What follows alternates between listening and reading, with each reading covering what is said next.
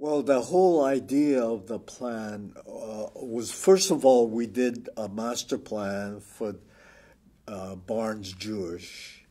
And then, uh, because of that expansion of that whole medical center, then we studied the surrounding area for housing and other amenities to for the hospital. Well, the finish, uh, of course, the medical center area was all for hospitals and and science building for the medical school. Uh, but the surrounding area, we were uh, visualizing it for housing, both high rise and low rise apartments for people working in the medical center.